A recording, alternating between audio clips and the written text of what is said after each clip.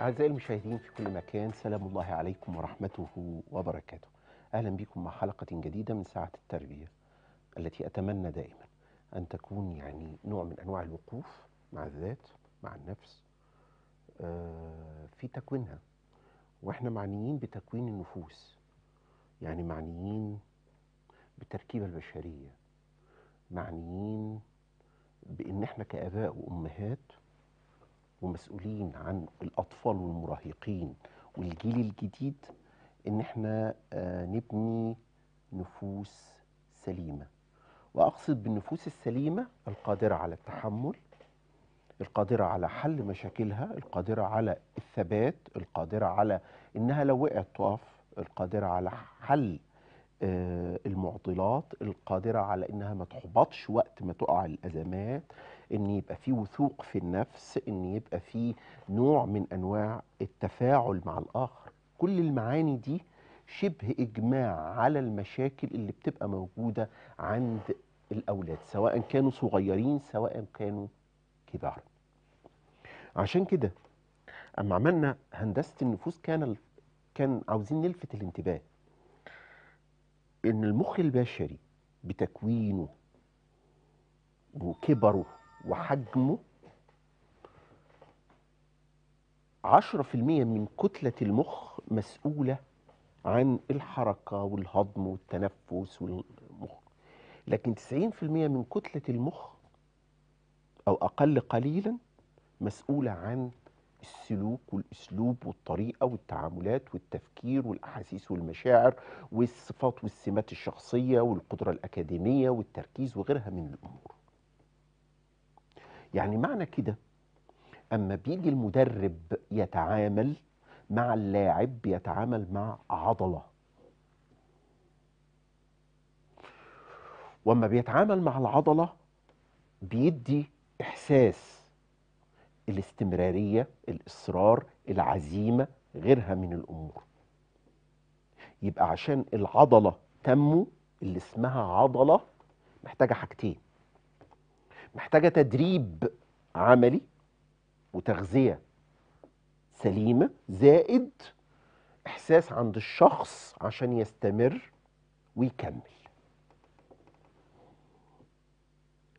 أما بنتكلم على حد عاوز يخس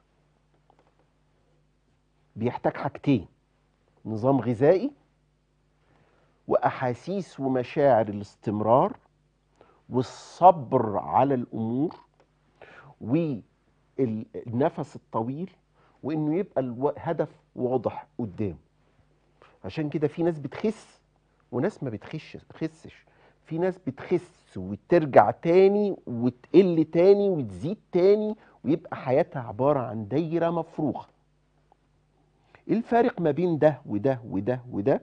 غير الأمور الطبية اللي خاصة بالامتلاء بتاع الجسم حاجة واحدة بس. الإرادة والعزيمة والاستمرارية. يبقى عندنا العضلات محتاجة وظائف المخ. والوزن محتاج كذا. كل حاجة حتى المذاكرة لما بنعلم أولادنا بنعلمهم مش بس عشان تذاكر عشان تبقى كذا وكذا وكذا وكذا وكذا. يعني معنى كده أما بتيجي تربي الجهاز اللي فيه السلوك والأفكار والأحاسيس بتاعة ابنك هو ده المخ. يبقى سيادتك يوم ما بتوجه ابنك الإشارة الضوئية هنا يوم ما بتعنف ابنك مرجوعها هنا يوم ما بتشد على ابنك مرجوعها هنا يوم ما تبقى محسوج زي ما بيقولوا ومش عاجبك العجب وتبين السلبيات مرجعها هنا. يوم ما يبقى ابني اندفاعي يعني حركي يعني كلامه وايده سابقين تفكيره منبعه هنا. وبالتالي إحنا بنتعامل مع خلايا ذات حساسية. على ما تعود ابنك بيكبر. وعلى اللي بتحطه كبذور بيكبر. وتكبر معاها المراكز. في التفكير وفي الأسلوب وفي الطريقة وفي التعاملات. ناس تقول والله إحنا تعبنا في تربية الواد وتربية البنت لكن طالعين شمال. ما نعرفش. ده تأثير أصدقاء ده تأثير مجتمع ده تأثير بيئة ده تأثير نادي ده تأثير مدرسة ده تأثير مدرسين ده تأثير ايا ما كان. وبتبقى المسألة بالنسبة لكل أب وكل أم إيجاد السبب بره التربية الحقيقية اللي موجودة في المنزل. وكأن بابا وماما عملوا الصح 100% واللي جه يعني قلبها وغيرها هو الشارع أو البيت أو المدرسة أو النادي أو غيرها من الأمور. لكن الواقع بيقول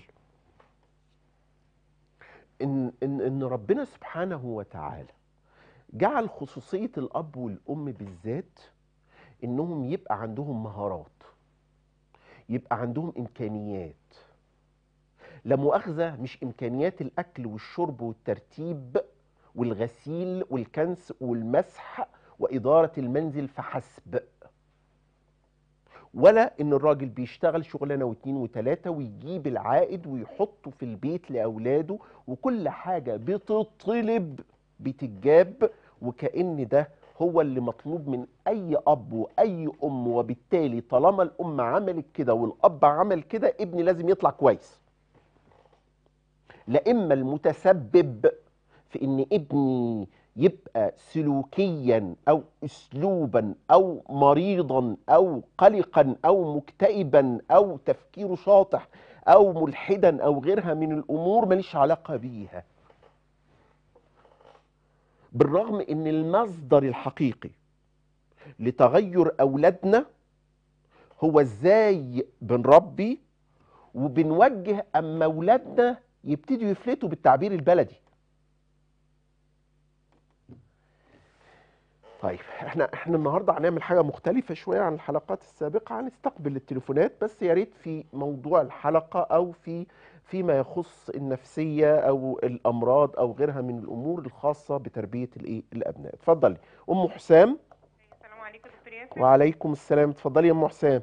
آه أنا عندي بنوتة عندها أربع سنين وشهرين. دي ترتيبها الرابع يعني هي ترتيبها الرابع آخر بنت. مم. بس الفرق بينها وبين اللي قبليها ما بين أخوها 16 سنة بينها وبين أختها الكبيرة 19 سنة. آه. فهي يعني أنا حاسة بجد أنا بعاني معاها جدا جدا ومش عارفة أتصرف معاها عناديه جدا. آه، ما بتحبش تسمع كلام حد خالص شقية بطريقة مستفزة. في الحضانة يعني بيقولوا عندها تحصيل جامد بت- بت- بتحصل بس.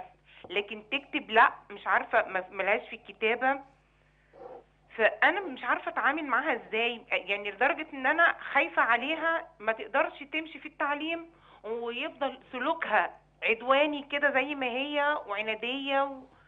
فأنا مش عارفة أتعامل معاها إزاي. طيب أنت عندك نفس للتربية؟ عندي نفس للتربية. آه. أنا معايا معايا أخواتها ما شاء الله لا قوة إلا بالله عليهم بصراحة. كلهم أمهات. كلهم إيه؟ أمهات وآباء. لا أنا معايا بنوتي متزوجة وليسانس اداب ما شاء الله يعني ربيتها ما شاء الله وأخوها مهندس زراعة وأخوها التاني في كلية تجارة. بسم الله ما شاء الله. آه هي دي بقى مش عارفة قلقانة عليها لأن هي أنا صعبان عليا عندها ده يعني عنادية جدا وما بتسمعش كلام في أي حاجة وبتحب تبص اللي في إيد غيرها. مع إنها مش محرومة من حاجة خالص يعني ممكن نكون قاعدين حاطين مثلا حاجات زيها زينا كلنا لا مش عايزة بتاعتي أنا عايزة اللي في ايديكم وتصمم. طيب مفيش دلع؟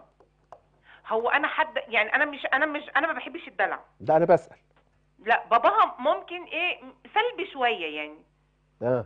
لكن أنا طبعا بابا مش معانا طول اليوم يعني إخوات. بيجي بالليل نص ساعة ساعة وخلاص انتهت. اخواتها لا إخواتها طبعا أختها متزوجة في بيتها وأخوها يعني يعني مش مش متواجدين معانا في البيت طول اليوم يعني. يعني هي منها ليكي. آه آه. وحضرتك نفسك طويل ولا قصير؟ مش مش دايما يعني. طيب ماشي. مش دايما حضرتك. هقول هقول توجيهات عامه حاضر من عيني من عيني حاضر. اتفضلي. اتفضلي يا أم حسام. طيب. نجاوب على ده ون- ونرجع تاني. بس خلونا نقول إن الفكرة اللي كنا بنتكلم عليها هي فكرة إن إحنا بنتعامل مع مخ بشري ساعة ما بنربي. وإن الأساس اللي بيزرعه بابا وماما وكتير من الأحيان اللي بيزرعه بابا وماما هو اللي بنلاقيه في المستقبل. لكن كيفية الزراعة دي اللي هنتكلم عليها. أم حسام بتسأل سؤال كويس. خلاص عندي ثلاث أولاد كبار أعمارهم السنية متفاوتة. آه، في بنوتة ربنا رزقنا بيها آخر العنقود أربع سنين وشهر. واما ربنا رزقنا بيها أنا لقيت شخص مختلف. لقيت البنوتة الصغنونة اللي الفرق بينها وبين إخواتها آه، زي ما هي قالت مثلا بتاع 14 سنة بتاع أزيد من كده يعني أعمار سنيه أو 16 سنة لقيتها مختلفة يعني غلبوية عنيدة آه واضح إنها حركية شوية واضح إنها مش مطيعة حبتين. واضح حاجات كتيرة موجودة في البنوتة دي. واضح إنها ما بتروح حضانة بتستوعب شفوي كويس قوي لكن ما بتحبش تمسك القلم. وإن كان ده طبيعي في تركيبة المخ البشري إن الناس تستوعب شفوي في السن ده ومسكة القلم ممكن تتأخر مفيش مشكلة خالص لكن ما باليد حيلة الحضانات دلوقتي والمدارس بدأت تدخل وتعلم من ثلاث سنين ونص وأربعة ومضطرين أصل المناهج مضطرين أصل أولياء الأمور مضطرين أصل كذا. وإن كان أربع سنين وشهر تمسك قلم دي مسألة بتبقى قاسية على الجهاز العصبي قاسية على الطفل الحركي حتى على الأقل وفي سن أربع سنوات. عشان كده كتير من الأولاد بدأ الأجيال تزهق من التعليم بدأت الأجيال تهرب من العملية التعليمية بدأ الأولاد يسرحوا مع مامتهم بدأ الأولاد التركيز بتاعهم يضعف بدأ الأولاد يبقى العلاقة بينهم وبين التعليم مش جيدة. بالرغم إنه في كي جي 1 وكي جي 2 بيبقى الطفل في غاية الاهتمام بالمدرسة ورايح وجاي ومبسوط وسعيد. أول ما يخش أولى ابتدائي تانية ابتدائي تالتة ابتدائي أربع رابعة ابتدائي بيشحر زي العربية كده ما بتشحر لأن البنزين بتاعه خلص. اولا لازم يا أم حسام تفهمي إن تركيبة البنوتة الصغنونة دي جيل تاني خالص غير التلاتة الكبار. ربنا يكرمك بيهم ويكرمك بدي لأن دي مختلفة. كونها عنيدة ده مش شيء سلبي لأن طبيعتها في السن ده مع صغر السن مع نفسك القصير نتيجة لبعد أسباب التربية هيؤدي إلى إن حضرتك نفسك هيبقى قصير. البنوتة العنيدة دايما محتاجة حوار ونقاش محتاجة طولة بال محتاجة اللا ما تبقاش آه والاه ما تبقاش لأ. يوم أما يبقى بابا بيعمل شوية ما بيدعمش موقفك يبقى البنوتة هتعاند. يوم ما بابا يبدي آه، هدوء يبقى أنا أستقبل ابو انس بس هكمل بس. آه، يبقى الطبيعي إن يبقى في قدر من العين طب نحله إزاي؟ هقول لك بس لما نستقبل أبو أنس. السلام عليكم يا دكتور. وعليكم السلام أبو أنس. اتفضل. جا اتفضل يا دكتور. لو سمحت أنا عندي طفل أربع سنوات ونص وعنده الحركة يعني زيادة عن اللزوم. والأكل بتاعه ضعيف جدا جدا هو أربع سن- سنوات ونص. وعنيد في نفس الوقت عنيد جدا يعني. آه مش بيسمع كلام حد مش بيسمع كلام باباه ولا مامته أيوه. ممكن يقعد اليوم كله المحل ما يعني ما ما يأكلش ما يسألش عن الأكل. لكن يعمل عفوا أنت حمام على على نفسه على طول مية. ما زال صباحا ولا مساء؟ لا مساء أكثر حاجة مساء يعني. أيوه. والأكل هو يعني تعبنا جدا في حكاية الأكل، الأكل. آه. مش بي- مش بيأكل خالص. آه. وحتى ساعه ما نأكله بيتعبنا جدا يعني آه. عشان نأكل. بس هو هل هو بي بيأكل حاجات في الوسط يعني ما بين الوجبات؟ آه، شيبسي حلويات شوكولاتات هو بيحب الشوكولاتة كثيره بس إحنا مش مش بنستجيب له في الشيبسي. هو عاوز يأكل شيبسي وحاجات زي كده لكن. بتستجيب له في الشوكولاتة؟ ما هو يعني عفوا الشوكولاتة حلوة. عندك طب. يا دكتور لا مفيش حد طبعا بس هو هقول لك ليه أنا بتكلم في الموضوع. بيشرب ألبان ولا حاجة؟ آه، لا ال- الألبان مش بي... بسيط جدا خالص يعني مش بي... مش بيحبه طيب. طيب اتأخر الولد في الكلام أو في المشي أو في غيره من الأمور دي؟ لا ما- لا أتكلم عادي خالص. و... ما طيب. تأخرش في الكلام ولا المشي. يعني. طيب الولادة كانت طبيعية؟ لا قيصري الولادة. كانت مضطرة ولا طبيعي إنها تولد قيصري؟ آه، طبيعي يعني في حال في الوقت المحدد بس الدكتور يعني آه، ولد قيصر طلق طبيعي يعني. طيب ماشي. وهو 15 آه، الوزن بتاعه 15 كيلو. دخل على خمس سنوات يعني. صغنون شوية. آه. طوله كويس؟ يعني طوله آه، لا قصير شوي. طيب. ماشي يا سيدي حاضر. من عينيا. طيب هو سؤال أبو أنس أبو أنس هو شبه سؤال أم حسام. وإن اختلف شوية إن الولد متعب في الأكل أو بمعنى أصح آه، بيطلع عينيهم إنه ياكل. وحقيقي إحنا كآباء وأمهات بنحب إن ولادنا يبقوا يعني مالين بطنهم. الام لما بتتعب في الأكل أو بتقدم الأكل نفسها الولد يكون مخلص طبقه. وبتحس كده بنوع من أنواع الراحة أما ابني يخلص طبقه. وبيبقى إحساس كبير. وبيبقى في بعض الأوقات بيبقى لنا ردود أفعال عصبية أو نرفزة ساعة ما نيجي نأكل أولادنا وبالتالي بيبقى العملية صعبة شويتين وخصوصا مع طفل حركي عنيد. وكونه حركي لازم يبقى عنيد. كونه حركي لازم يبقى عنيد. كونه حركي حركته زيادة عن اللزوم. يعني يتحرك من غير هدف. يتنطط من غير هدف. ما يقعدش راكز في مكانه 3 4 دقايق. وبالتالي الطفل اللي زي ده طبيعته إنه ما بيركز. يعني متلازمة مع الاتنين. اللي بيك اللي بيتحرك عادة ما بيركز عادة بيبقى عنيد. والتركيز مش معناه ذكاء. التركيز معناه إن أنا أركز في اللي بيتقال لي وأفهم وأستوعب. طيب.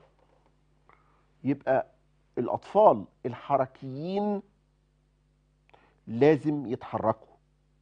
يبقى العيل اللي عنده أربع سنين وشوية ده ممكن يروح يلعب رياضة ممكن يروح يعمل فتنس في اي على أي أجهزة ممكن يبقى بيلعب أي حاجة نظامية آخد مجهوده في الفك والتركيب أكتر أحاول أخليه يرسم ويلون أكتر أحاول قدر المستطاع إن أنا أقلل الحاجة اللي بتدي ابننا طاقة. وهو ده يا أبو أنس أصل الشوكولاتة. في أولاد بيبقوا مش حركيين ومجرد إن ياكل شوكولاتاية أو بار الشوكولاتة بار الشوكولاتة ده يقوت ابنك 48 ساعة يفضل من غير أكل. مسدوده نفسه. ليه؟ لأن هو الولد البار ده اداله طاقة. هياكل ليه؟ ما أنت إمتى بتحس إنك محتاج تاكل؟ أما الجوع. وأما الجوع دي واحدة. الحاجة التانية أما تبقى حاسس إنك أنت محتاج وجعان. وبالتالي مع الحركة المفروض الأكل يزيد مش يقل. لكن واضح إن حجم الحلويات اللي ممكن بياخدها الطفل زيادة. جرب يا أبو أنس كده الشوكولاتة ممنوع عنها أسبوع. وشوف مستوى حركته. جرب الحاجات اللي فيها سكريات تقل شويتين. جرب. خلاص. وندي أي مكمل غذائي أي فاتح للشهية أي أي حاجة بتكون بعيدة عن الدهون والزيوت والسكريات. أم محمد؟ أيوه السلام عليكم يا دكتور. وعليكم السلام. أم محمد اتفضلي. بعد إذن حضرتك يا ابني أنا عندي ابني آه، منفصل عن زوجته. أيوه. يعني يعني بالتراضي يعني ما فيش أي حاجة بس يعني الع- ال- العشرة آه، آه، يعني عملت بينهم. آه. المهم مهم عنده ولد عنده خمس سنين مم. وبنت عندها سنتين ونص. وهم الحمد لله هم متعلقين بابوهم أو بس هي أمهم سابتهم يعني إيه اديتهم لأبوهم ما خدتهمش ما رضيتش تاخدهم بتربوا فين يعني معاكي دلوقتي معايا أنا معاك فأنا عايزة أعلمهم وعايزة اربيهم تربية كويسة والولد و... يعني. أخليهم سويين والدهم والدهم معاه لسان آداب يعني شاء لا لا لا لا كويس. لا معاكي يعني في البيت آه يعني آه. أنت اللي بتربي ووالده موجود بيروح الشغل آه. ويرجع يعني لا. آه أيوه آه مم. مم. ولا هو ارتبط أو اتجوز أو لا لا لا لا لا لا. مم. ما ارتبطش ولا حاجة هو موجود. بس أنا فترة الشغل طبعا بيبقوا معايا وهم الحمد لله يعني فضل من الله ونعمه إن واخدين علينا وبيحبونا قوي حلو قوي ومش سائلين في أي حاجة. يعني أحسن. مش سائلين مثلا ولا متأثرين. الحمد لله ده نعمة من عند ربنا يعني. طبعا.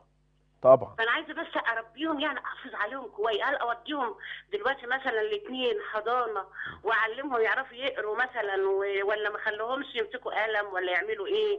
ربنا يبارك لك يا رب. حاضر من عيني حاضر. حاضر من عيني طبعا هو آه، آه، آه، أم محمد بتتكلم في موضوع كبير. الموضوع الكبير ده إن أنا أكون كأب وكأم مسؤول وابقى على مستوى الأبوة والأمومة.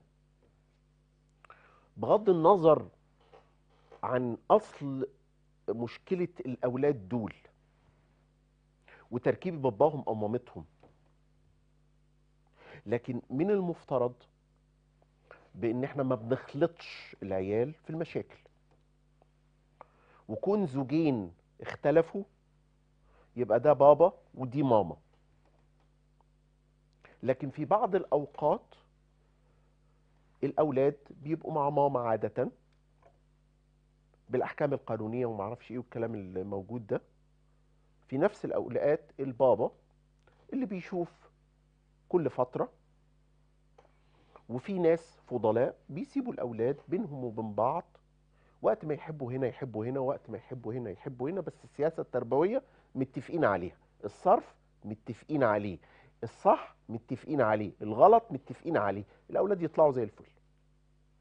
لكن آه، يعني يوم ما الأولاد الأم زي ما تقول أم محمد سابتهم يعني فضلت إنهم يعيشوا مع بابا وياك- وياكلوا ويشربوا ويعيشوا ويربوا مع بابا يبقى المسألة دي أنا بحط عليها علامات استفهام. لكن في النهاية بابا يستطيع أن يربي من غير وجود ماما لأن في تيتا ربنا يخليها. في خالته في عمته في بنت عمته في بنت خالته. كل دي حاجات تعويضية للعواطف كما يقال النفسية الأممية بتاعت الأمومة. لكن المهم انك كجدة ما تبقيش من غير نظام. ما تبقيش من غير نظام. بمعنى إن لو أخطأوا أو أصابوا هنا بنحرم مثلا وهنا بندي. ما تقوليش أصل عشان محرومين من والدتهم حرام عليك اديهم اللي هم عاوزينه. عشان محرومين من والدتهم حرام عليك ما تاخدش موقف حازم من الخطأ الفلاني. وبالتالي عاوزة تربي انت الام. بالعكس الجدة بتبقى علاقتها بأحفادها أقوى من الأم وبالتالي تستطيع أن تعوضيهم الإحساس بتاع الأم إذا لم يشاهدوا إيه؟ أمهم. وبابا قائم كدور أب. حاجة التانية ثلاث سنين وخمسة يروحوا حضانة. ليه؟ عشان الذكاء الاجتماعي وعشان القدرة اللغوية وعشان القدرة الأكاديمية وعشان كذا. الأولاد في السن ده بيحبوا يتحركوا. مفيش مانع إنهم يروحوا يتدربوا ويرجعوا. طبيعة الأشياء دايما تعودي الأولاد إن في عائد نتيجة إلى. فلو شلت ده تأكد تماما إن اللي بيشيل ده بيتعب فبياخد دي. زي اللي بيحط هدومه أول ما يرجع من الحضانة أو المدرسة في مكانها. أو يحط أعزكم الله الأحذية في مكانها. أو يحط الحاجة اللي مرمية على الأرض في الباسكت أو في سلة المهملات. وبالتالي أما تعمل كده تأكد تماما إنك تعبت وقصاد تعبك ده تتفرج على تلعب بكذا تخرج كذا تروح كذا تعمل كذا. فكرة إن اليوم يبقى في بعضه أداء واجبات وتحصيل عوائد. من هنا الأولاد هيبقى عندهم حاجتين بتحمليهم مسؤولية. يبقى الثقة بالنفس تزيد. الحنان والعاطفة دايما ملهاش علاقة ابن كويس ولا وحش. يعني بنلاقي أولاد طلعوا عينين أهاليهم لكن الحنية موجودة لكن مش الحنية الخطأ. أنا متقبل ابني مهما كان ولكن لو هو ما ذاكرش مش ممكن يخرج آخر الأسبوع عشان يخرج مع أصحابه عشان كذا عشان كذا عشان كذا. لو ذاكرت نص الأسبوع هتخرج مع أصحابك بس للأسف مش هقدر اديك مصروف. عاوز المصروف وعاوز الخروج يبقى لازم تذاكر الأسبوع كاملا. وهكذا. المهم نكمل بس هنطلع لفاصل ثم آه، فابقوا معنا يعني يلا. أهلا بيكم تاني أعزائي المشاهدين ومع اتصال آخر. الاتصال موجود عمرو. أستاذ عمرو. السلام عليكم وعليكم السلام؟ أهلا وسهلا. اتفضل. بقول لحضرتك يا دكتور أنا أنا عندي 36 سنة. آه، عندي وسواس قهري. و و- وفصام وج- فصام وجداني. وبحس إن أنا ان أنا يعني عقلي بيتوه كده ما بيبقاش واعي حتى لو أنا مش واخد علاج. لكن لو واخد علاج؟ لو واخد علاج بهلوس أكتر. يا راجل. والله العظيم. طيب أنت بالك قد إيه تعبان؟ أنا من 2006 حضرتك. 2006 فترة طويلة يعني. والله آه حوالي- حوالي ورحت 14 لدكاترة سنة. كتير و... طبعا. آه، الد- في في في دكتور في دكاترة بيقولوا لي بيقولوا لي العلاج من السحر الإيه؟ في دكاترة بيقولوا لي حضرتك بيقولوا لي العلاج من السحر لما بقول لهم العلاج مش عامل حاجة. آه. طيب آه طبيعتك آه يا أستاذ عمرو آه كنت عندك أصدقاء واصحاب و... كان عندي أصدقاء وأصحاب بس لحد- الفترة اللي أنا تعبت فيها في ناس بعدت عنها. بعدت عنها. آه وما عنديش ثقة في نفسي نهائي حتى ما بقدرش أخش أصلي في الجامع. وما بشتغلش بسبب إن أنا تعبان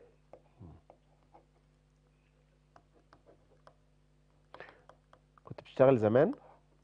كنت بشتغل آه. بعد الكلية على طول يعني ولا إيه؟ لا أنا ما كملتش حضرتك ما بس كملتش. كنت بشتغل وكنت مستمر في الشغل. لحد ما جالك التعب ده؟ لحد ما جاني التعب كنت زعلت وجاني التعب دون و... وما عنديش ثقة في نفسي نهائي. لو أنا داخل الجامع بحس إن نظرات عينيا مش طبيعية ب- بحس إن أنا مرتبك بحس ان إن الناس هتقول إن أنا هاخد الشباشب اللي في الجامع أو الجزم اللي في الجامع. خايف يعني ولا قلقان؟ نعم. بتبقى خايف ولا قلقان؟ ببقى خايف وقلقان ومتوتر وكل حاجة. والتردد؟ متردد على طول. ماشي. وما وما فيش تركيز في الكلام حضرتك من ساعة ما تعبت. حاضر. حاضر. ماشي يا عمرو. اسمع الإجابة بقى على التلفزيون على الشاشة. طيب أم عبد الرحمن. السلام عليكم. أيوة يا أم عبد الرحمن وعليكم السلام. السلام عليكم. وعليكم السلام تمام. عننا يا دكتور. يا رب آمين. الله يكرمك معلش يا دكتور أنا عندي سؤالين مهمين. السؤال الأولاني عندي بنتي سبع سنين وولد 12 سنة. آه. آه، عندهم عدم ثقة يعني ممكن يكتبوا الإجابة ويمسحوها تاني. يعني آه، تكون الإجابة صحيحة ويمسحوها دوت أنا عارفة إنهم حالتهم النفسية لأن والدهم. آه، متزوج غيري ومعاه أولاد من غيري فبيعتبر ما بيجيلهمش خالص الأولاد أنا- الأولاد أصغر ولا أكبر؟ عندي أنا عندي أربعة بس هم الصغيرين سبعة آه. و12 آه يعني الأولاد ال- ال- ال- الزيجة دي التانية ها؟ أنا الأولى أنا آه الأولى آه أهلا لا، وسهلا أنا. الأولى لكن أنت شايفة إن الثقة بالنفس دي نتيجة للظروف اللي آه بتمروا هم بيها حالتهم طبعا بيحصل مشاكل. أنا مع أنا يعني عارفة إن بيحصل مشاكل بينه وبين والدهم وكده لما بيجي فهو بدأ ما بيجيش من ساعة ما جاب أو ولد آه، من من شهور يعني. من شهور. آه، حالتهم النفسية يعني تعبانة. بحيث إن أنا حتى لو حبيت أخرجهم يا دكتور يعني يتفسحوا ولا حاجة بحل بحس إن نفسيتهم بتتعب أكتر. بتتعب إزاي بقى؟ بيشوفوا أبهات مع أولادهم بيخرجوا بيضحكوا. بحس بأولادي بيبصوا بصة كده بصة بصة حرمان يعني. مش بصه عادية. فبيصعبوا عليا. يعني أنا أقول اخرجهم أنا وأقوم بالواجب. أنا بيتعبوا نفسيا أكتر. آه. وبا هم مرتبطين ببابا؟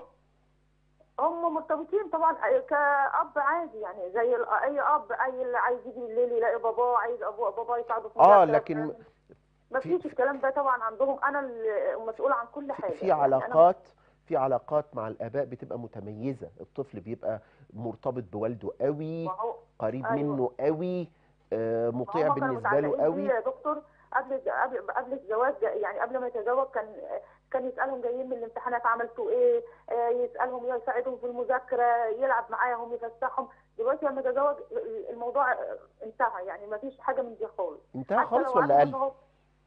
حتى لو وعدهم يخرجهم ما بي... ما بيفيش بوعده ساعات بيكذب قدامهم. أنا بزعل إن العيال أنا خايفة أولادي يتعلموا كده.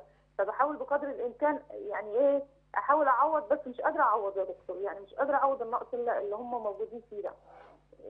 مش عارفة أعمل إيه يا دكتور ده يعني ده حاسة- ده سؤال حضرتك يا أم عبد الرحمن؟ أيوه يا دكتور طيب حاضر. شكرا. حاضر يا أم عبد الرحمن. أم عبد الرحمن تحال إلى مشكلة أم محمد برضه. شبه بعض. لكن أستاذ عمرو أستاذ عمرو بيتكلم على آه، مرض آه، من الأمراض النفسية آه، اللي هي أساسها نتيجة لخلل كيميائي موجود في مراكز المزاج والتفكير. هو وجد بما لا يدع مجال للشك إن المراكز ساعات بتتأثر نتيجة لأبعاد جينية نتيجة لعوامل بيئية نتيجة لضغوط نفسية نتيجة لأدوية نتيجة لغدد نتيجة لبعض الأمراض. بنحس إن نفسيتنا متأثرة. حزين متضايق بفكر كتير بجيب وبودي دماغي بحط راسي على المخدة اقعد الافكار تجيلي كل اللي حصل طول النهار بيبقى شريط موجود. لو نمت بنام اكني الصاحي لأن كله احلام ودماغي شغاله. اما اصحى الصبح ما اصحاش فايق اصحى مهمد وموخم ومش مبسوط. اداءاتي اضعف من الأول. اداءاتي الانسانيه والنفسيه والعملية والشغل والكلام ده بيبتدي يتاثر. في نفس الوقت علاقاتي مع الناس بتبتدي تتاثر. يعني البني آدم ده تعبان. إمتى نقول على البني آدم ده جاي له مرض أو جاي له محتاج علاج؟ ثلاث حاجات. اولا أداؤه عامه يتأثر. أداءاته كلها تتأثر. في شغله في بيته في حياته بتتأثر. علاقاته مع أصدقائه يبقى مكنون أو يغير ي- ي- ي- يعمل مخالفات أو غيرها من الأمور أو ينسحب وينزوي وينطوي. الحاجة التانية النفسية يوم ما تسأله أنت نفسيتك عاملة إزاي يقول لك أنا في كرب عظيم لا يشعر بي أحدا من البشر. لأن المزاج الداخلي لا يشعر بي مكتئبا أو سعيدا غير الشخص نفسه وإن ظهرت علامات للآخر لكن لا يستطيع أن يشعر نفس الشعور اللي شاعر بيه البني آدم الزعلان أو البني آدم المكتئب. في فارق شديد ما بين شوية زعل وفي فارق شديد ما بين حد محبط نتيجة لأنه ما نجحش في الشغل ما نجحش في الجواز ما نجحش مع أولاده ما نجحش في كذا وفي فارق شديد ما بين الاكتئاب كمرض من الأمراض تحتاج إلى علاج دوائي مع توجيه نفسي مع شغل. فكل اللي هقوله لك يا عمرو إنك أنت محتاج تتابع مع الطبيب ولا تيأس وتفاءل بالخير تجده. الحاجة التانية أن ترجع إلى العمل سريعا لأن دواء من غير عمل زي قلته. عمل من غير دواء زي قلته الاتنين دول. دايما البني آدم بيحس أن له قيمة عندما يعمل. فقلة الثقة دي تروح إزاي؟ يوم ما أبتدي أختلط وأتفاعل مع إعطاء جرعة دوائية. أيا ما كانت الجرعة الدوائية اللي العملية التشخيصية صعبة جدا للأمراض النفسية عبر التليفونات لكن في النهاية طالما 14 عاما من الأفكار ومن الاضطراب آه، في المزاج والاضطراب في التفكير يبقى لازم ناخد علاج. حتى وإن امتد العمر الطويل حتى وإن امتد العمر الطويل النتائج أفضل كتير من تركك كده. الحاجة التانية أنت بقيت ملازم المنزل لا بتنزل ولا بتروح ولا بتيجي. لا تبتدي تتحرك. ناخد آه، أم جنى. أم جنى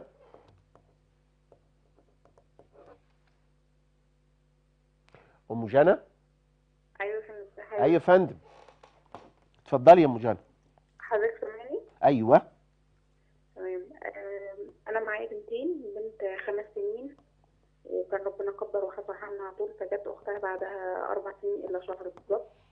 إلا شهر. المشكلة آه. آه. هي ال- الكبيرة الحمد لله يعني من ناحية التربية هي أريح كتير يعني بس هي في حاجة أنا لافته نظري فيها يعني دايما لما بتيجي تنام بتقعد تفرك كده في شعري في وداني في مم.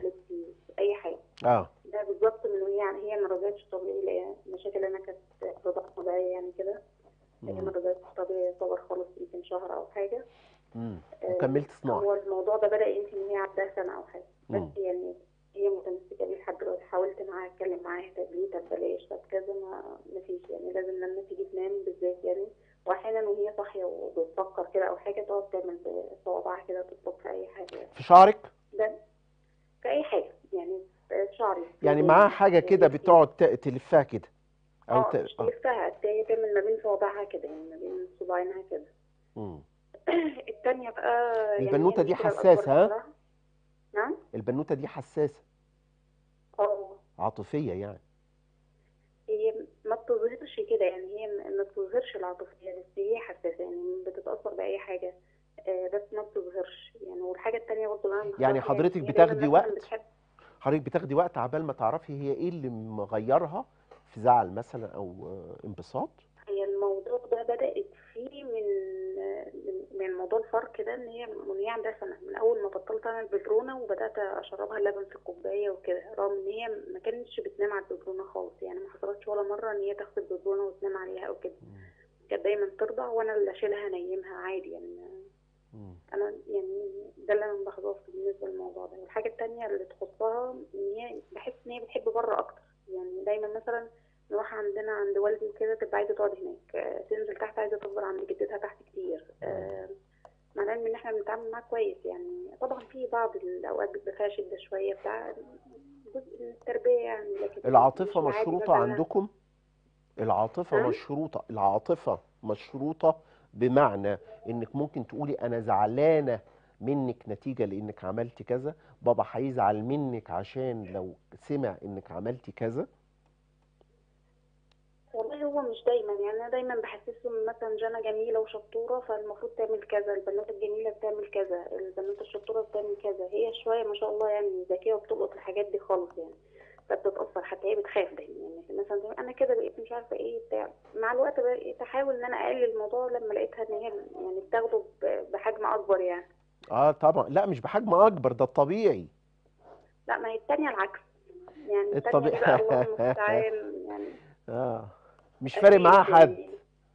آه خالص. يعني حتى هي هي مرتبطة بيا جدا طبعا نتيجة إن هي جت ورا أختها على طول فكان بابا دايما مهتم أكتر بالأولانية وأنا مهتمة بيها أكتر وهي الحمد لله فضل الرضع الطبيعي الثانية الرضع الطبيعي. فاللي حصل هي كانت متعلقة بيا جامد وكانت شوية علاقتها بباباها مش قد كده وهو يعني آه، أسلوبها ما كانش بيعجبه قوي فكان أحيانا يشد عليها شوية فبدأت أنا أنبهه يعني بلاش وحاول هو الحمد لله تعدل يعني اتحسن معاه خالص وبقى يحاول يعدل ما بينهم واسلوبهم. بس هي في الفترة الحالية يعني هي دلوقتي عندها أربع سنين إلا شهر لا عند فظيع مع الكل بقى يعني. حتى أنا جاي أكلمها لا ماما ما شاء الله تروح؟ الكلام يعني ترد. م- مش منتظمين قوي في الحضانة بسبب إن إحنا يعني عمل زوجي في محافظة وإحنا من محافظة فبنروح المحافظة دي مثلا أربع شهور ونرجع نقعد آه، في بلدنا الأصلي كمان شهرين ونرجع نروح تاني والله مت- متنقلين يعني. آه متنقلين وبالتالي منقطعين عن الحضانة مش ثابتين يعني. مم. طب بيرجعوا لنفس الحضانة اللي هي كانوا فيها؟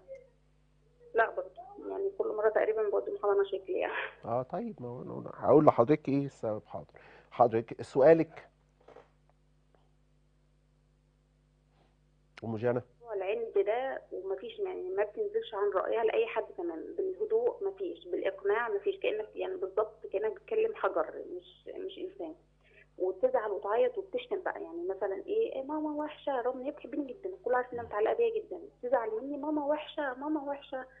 آه وأول ما تفوق بقى نفسها خالص بقى بعد كده وتهدى أنا اسفه يا ماما مش هعمل كده تاني مش عارفه بس الموضوع بيتكرر كتير. يعني كنت طبعا لما بتقولي آسفة خلاص حبيبتي مش مشكلة بس نشيلها تاني والشيطان هو اللي عمل معانا كده ونبقى نقول أعوذ بالله ونستغفر ربنا. مفيش.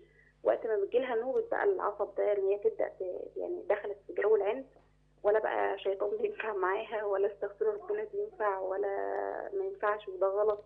يعني حتى أقول لها انت كده ده في بنوتة جميلة بتعمل كده وانت بنوتة جميلة تقول لي لا أنا بنوتة جميلة. يعني أنا بنوتة جميلة وهعمل كده برضه.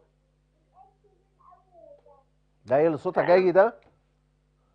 نعم؟ أه. الصوت اللي ورا ال back هي ground مسيط يعني هي مسيطرة على أختها حتى الكبيرة. يعني الكبيرة ما شاء الله هادية كده وما بتحبش تعمل مشاكل. فمثلا أي حاجة في إيد أختها هي تاخدها منها بالعافية. أنا بحاول أعالج الاثنين يعني بقول دي ما ينفعش والتانية تاخديها بتديها لها عادي؟ ما تت- ما تتنزليش عاملة معاكي بسهولة كده طالما حاجتك اللي أنت جايباها ما تسيبهاش بسهولة ليه بتسيبيها كده على طول هي أنا بتسيبيها حباً يعني؟ مش عايزة تعمل مشاكل إيه الكبيرة بتبقى مش عايزة تعمل مشاكل أنا عايزة تريح دماغها يعني آه. حتى كانت يعني الصغيرة كانت تضرب الكبيرة فأنا مم. كنت آخد الصغيرة لوحدها وأقول لها ما ينفعش ما ينفعش تضرب أختك والضرب ده وحش مش انت تزعلي لو أنا ضربتك وكذا آه. الكبيره أقول لها انت ما بتدافعيش عن نفسك؟ لأن هي حتى يعني الكبيره أكبر منها طولا يعني طويلة عنها تقدر تملكها. بس هي أجي أتكلم كده تقول مش بحب أضرب. هي بتخاف؟ بس بتصعب عليا. يعني بتصعب عليا من هي الكب... الكبيرة خوافة؟ يعني مش قوي. لأن لما بتتعصب الكبيرة بقى لما بتتعصب جامد كده وتزهق بتروح زقها جامد وعاملاها جامد. بس طب. هي فيها الحتة دي. يعني هي تقول أنا مش بحب أضربها. أنا مش بحب أضرب. مش عايزاها تزعل. آه كده. هاديه كويس. الكبيره عن ال- الصغيرة عن الصغيرة يعني. امم يعني كنت في فترة كبيرة بقول إن هي حاسة إن إحنا باهتمامنا أكتر شوية من الكبيرة. حاضر يا أستاذ آه بدأت لا عادي بوازن ما بين الاثنين يعني شوفني مثلا كنت بعلم جنى آه نقرأ أو نكتب أنا هقرأ أنا هقول. دايما هي عايزة هي تقول. آه لا سيب الثانية وأنا اللي هقول. وفعلا ده جاب نتيجة معاها إن هي يعني تقدمت. كتبت في وقت مبكر اتعلمت حاجات في وقت مبكر بتعاني يعني. حتى لما باجي أعلمها حاجة أو بتاع لأ أنا هعملها لنفسي. طيب. أنا عارفة دي ميزة قد إيه بس في نفس الوقت هي عيب هي حتى أحيانا مش بتديني فرصة إن أنا أوريها أو إن أنا أعرفها. آه، اللي مزعلني في الموضوع أكتر يعني إن أنا بقى توصلني أحيانا إن أنا بقيت اضرب رغم إن أنا ضد موضوع الضرب ده وبحاول قدر الامكان ان أنا ما اضربش بس هي بقى توصلني يعني من يومين بالظبط يعني من حضرتك لما ضرب. بتنتقلوا من مكان إلى. من من من من محافظة اللي أنت فيها ل... ل... ل... ل... لمكان عمل زوج حضرتك بيقعدوا كتير في البيت آه معظم فترات. البيت. طيب حاضر آه يعني طيب. طالما مفيش حضانة بيبقى معظم الوقت في البيت مم. يعني نادر حاضر هقول لحضرتك حاضر حاضر حاضر اتفضلي يا مجنى اتفضلي طيب يبقى ده سؤال مجنى طيب السؤال مجنى ده سهل صعب بصراحة يعني. لأن هو بيتعلق بتأثر الأولاد أه، بوجود طفل آخر بيتأثر بأن العلاقات ممكن تكون أه، مش مستديمة مع بابا ممكن تكون علاقات الانتقال من مكان إلى آخر دخلتهم حضانة وخروجهم منها. لكن هنمسك سؤال أم عبد الرحمن. سؤال أم عبد الرحمن يا أم عبد الرحمن أولا آه، يعني لازم نكون فاهمين ال- دايما أما الأب بيغيب الأم بتقوم مش مقام الأب بتقوم مقام النظام. لازم يبقى في نظام متبع. النظام المتبع ده في الصح والغلط والمفروض وغير المفروض في العواقب وفي الإثابة ده بيحطه بابا أو يحطه ماما. في أثناء ده أنا بدي عواطف ومشاعر غير عادية. خلاص؟ وبالتالي الأولاد بيعتمدوا على وجود عاطفة قوية تجاه بابا أو ماما في تنفيذ الأوامر والقواعد الإنسانية. بابا اختفى نتيجة لأسباب. بعض الوقت مش كل الوقت زي ما انت قلتي لكن الأولاد تأثروا مش لأن بابا ارتبط. ممكن ممكن بابا يكون أخطأ في شيء فادح إن ما بقاش يهتم بالأولاد زي ما كان بيهتم بيهم. فالأولاد شعروا بالفقد.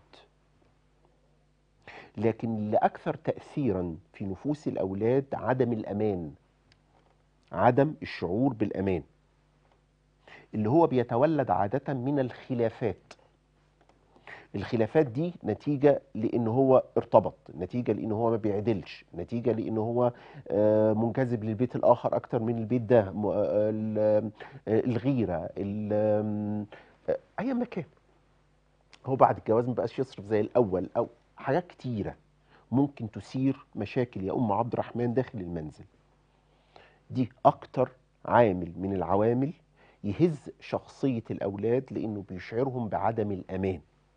أما يلاقوا ماما بتعيط مثلا أو بتعلي صوتها وبابا بي بي بيعلي صوته وبيتخانقوا وبيتنحروا طب أنتم اللي المفروض بتجتمعوا عشان تدونا الأمان وتحافظوا علينا وتحرسونا وفي نفس الوقت تدونا عواطف ومشاعر وفي نفس الوقت بتحطوا نظام؟ وبالتالي أنا اللي هزني في الموضوع الثقة بالنفس. يبقى الثقة بالنفس أساسا هو الخلافات القائمة دي واحد. ليه؟ لأن مش كل أب ذهب ليتزوج بأخرى أو كل أم طلقت من جوزها أو كل أب توفي في بعض أوقات أو كل أسرة الأم توفيت معنى كده سداح مداح والدنيا مش هتتعوض. لا الدنيا بتتعوض. أنا ممكن أعوض فقد الأب طالما هناك نظام.